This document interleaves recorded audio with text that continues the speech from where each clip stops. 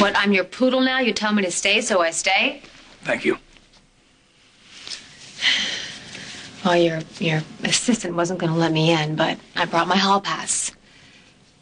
The divorce papers. Signed and ready to make it official. I, uh, you could feel free to pop open the champagne when I leave. I would love to join you, but I'm sure Julia would knock the glass out of my hand.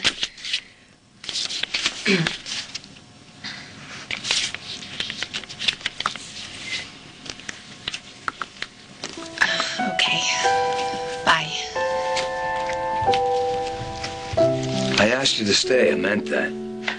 Why? Because I'm so much fun to be around? Mm-hmm.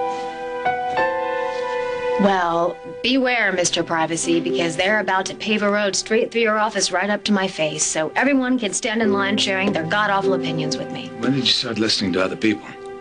Well, when people are yelling and screaming in your ear, calling you a baby stealing slut and a friend betraying jerk, it's kind of hard not to hear them. Oh, and this is just the warm up. Now I've got to worry about David and Jack and what they're going to say. Tell me what to do about the pregnancy, tell me how horrible I am and that I should rot in hell and.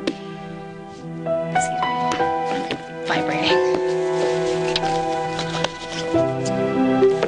It's my mother. This is the 18th time today she has called me. When I was on trial for murder with a fake pregnancy, that was better than this. I'm telling you, if one more person calls me today and bugs me. Say the word. What? Say the word and I'll make it all go away. Want peace? I'll give you peace. No friends, no family, no strangers either. Okay, if you want to lock me in a closet, that would be nice. No. Come and go as you please.